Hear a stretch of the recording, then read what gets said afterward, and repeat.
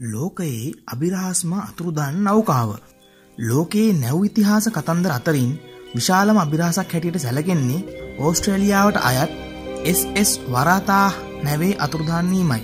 එක්දස් නමසේ නමේ ජූලි මාසයේදී දෙසි එකොළහක පිරිසක් සහිතව දකුණු අප්‍රිකාවේ කේප් ටවුන් බලා යාත්‍රා කරමින් තිබ්බ වරතා නෞකාව අද වෙනතුරුත් කිසිම සලකුණක් හමු නොවන විදිහට අතුරුදහන් වෙනවා. ජූලි විසිනම් වෙන්දා කේප් ටවුන් වරායි නැංගුරම් ලන්නට තිබුණු වරතා නැව අවසන් වලට මිනිස් ඇසට හසුවන්නේ ජූලි විසිහත් වැනිදායි. ඉදින රාත්‍රිය වරතා නැවට ඉදිරියෙන් යාත්‍රා කරමින් තිබූ හාලෝ නැම් නැවක් වාර්තා කරන ආකාරයට එකවරම දීප්තිමත් ආලෝක ධාරා දෙකක් විහිදෝමින් වරතාක් නැව අතුරුදහන්ව තිබෙනවා. වරතාක් නැවේ අතුරුදහන් වීමෙන් පසුව ගිවී ගිය අවුරුදු 100කට වැඩි කාලය ඇතුළත මේ නැව සෙවීමේ මෙහෙයුම් රැසක් ක්‍රියාත්මක කරලා තියෙනවා.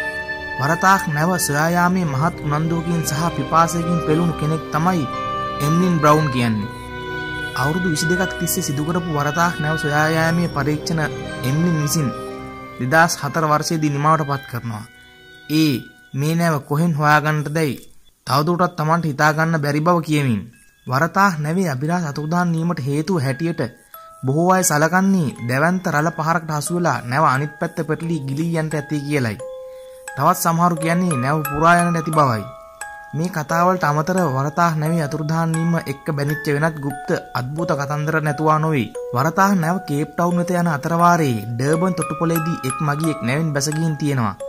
ඒ ක්ලෝඩ් සොයර් කියන පළපුරුදු මූදු සංචාරකෙක්. මේ පුද්ගලයා අතරමඟදී නැවෙන් බැස යන එක් හේතුවක් හැටියට සඳහන් කරලා තියෙන්නේ නැවේ සිද්ධ වුණයි කියන යම් යම් අద్భుත සිදුවීම්. අමුතු ඇඳුමකින් සැරසලා ලේන් තෙත් වෙච්ච දිග කඩුවක් අත සිටි පුද්ගලයෙක් කීප වතාවක් නැවේදි දැක්කය කියලයි ඔහු කියන්නේ. ඒ දර්ශන ගැන හිතේ බියක් දෙගිඩියාවක් ඇති වුන නිසා තමයි ඔහු නැවෙන් බැස ගිහින් තියෙන්නේ. ඒ වගේම වරතාහ කියන නම සාපලත් නමක් හැටියටත් බොහෝ දෙනෙක් විශ්වාස කරනවා. ඊට පෙරත් වරතාහ නමින් නම් කරන ලද නැව් කීපයක් මතුරුදහන් වීමට ලක්ව ඇති බව සඳහන්.